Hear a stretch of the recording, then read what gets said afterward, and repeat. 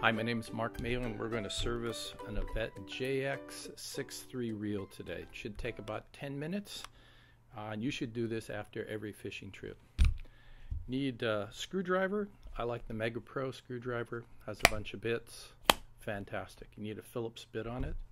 Need some Q-tips, some blue tape, some Inox MX3 grease or another oil or good one, some grease, and you should make sure you have some Avet washers. These are the washers that'll be inside of there. Having spare ones will save you from going uh, not having your reel work.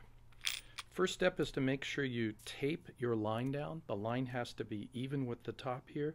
If you've bunched it up in the middle, take it off, rewind it, put the tape on so that it make sure the reel's in free spool. There are three screws on the side. Unscrew them. The beauty of the Avet reel is three screws and you're done. You want to take the screws off. Sometimes they stick to the screwdriver, sometimes they stay in here. Whatever you do, you want to get them all together. Verify you've got three of them. There are three screws. And you pull this apart. Comes out smoothly if this line is even take a paper towel and clean out the inside of the frame. You want to make sure to get all salt, all material that's there out. I usually take a drop of fresh oil, rub it all in the inside to give a thin sheen. When I'm finished, then I start working on the bottom. You want to remove these reel nuts, make sure all of this is free of corrosion, add a drop of oil to each of the threads, to make sure that it'll work. Reassemble it. Salt collects inside of the end of these reel nuts, so be sure they're clean. If you need to, use a Q-tip. The frame is finished. Start working with uh, the next part, the handle, the side plate, and the spool. Make sure this is in free spool.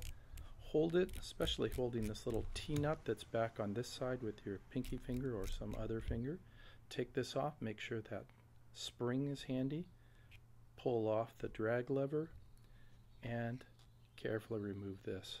Set it down. Next is the drag plate. You can see a bearing trying to come off. You want to get all of these components to come off, especially these two washers there are the two washers, the spring and the two bearings. Hiding here is a spacer sleeve. Be real careful at this point. You want to push this out, but you want to make sure this end of this from this little hat structure, spacer washer, and these little Belleville washers is safe and all together. You can clean this now, add a drop of oil to it, rub it back and forth. That's in good shape. There is a bearing inside right here. I use this gently to push it out. If you have a highly colored reel, a pink reel, a black reel, this may not come out. Just leave it in there and oil it in place. I put three little drops of oil on it, push it back in. It'll make a noise. Thread this through and push down. Mine already made the little noise indicating it's in good shape. Put on the spacer washer. Now, two drops of oil on the bearings. Thread it on. Push it down. Don't worry that it doesn't go all the way. One of these tiny little washers, which are easily lost. A spring. Another washer. The washers will like to touch you and stay with you, so be careful. Put two drops of oil, and as a friend of mine learned, there are big and small drops. You'd like small drops. Push this down. I suggest at this point wiping the drag washer and also wipe off the drag plate. If you want, you can clean this little recess where the bearing's going to go. Put this back on, push it down. This is the T end. It moves back and forth. You want it centered. You want it to fit into this slot that's cut out for it. So this goes in here, turn it till it falls into place. Set that aside and start working on the side plate. I'm going to take these gears out. They have a habit of falling out sometimes. There are three gears, one, two, three. Now clean this, get all salt and residue, take a Q-tip and go all around in this area where this S-shaped dog uh, connector is. Be real careful of this. It can easily be caught in several places. Once you get it clean, again, you could put a drop of oil, rub it around, make sure it's all coated so that the next time you service your reel, it's in good shape. To assemble the gears, you start with the uh, pinion gear, gear, small.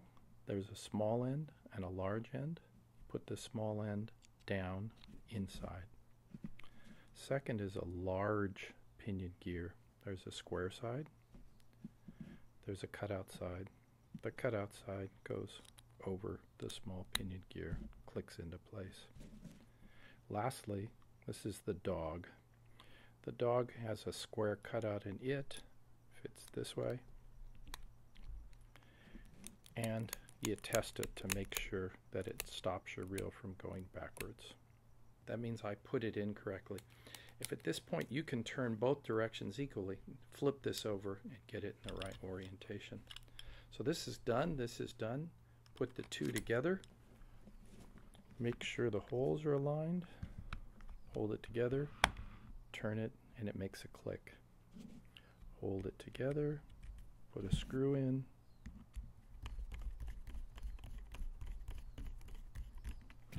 verify that this is together and then it turns forward but not backwards. So you're in good shape. Again, put a little more pressure on the screws. Don't tighten them down all the way. There are three. So here's the third one. I'm going to verify a couple of things. The handle goes forward but not backwards and the reels, the uh, spool spins. That means that we're in good shape. Tighten this, make all of them tight. But again, some of you are stronger than me, not stupidly tight. It's fine. Now grab the uh, uh, drag lever, put it in place. There's a little structure that has to be spun. It should be against that stop. There's a spring on here that goes down.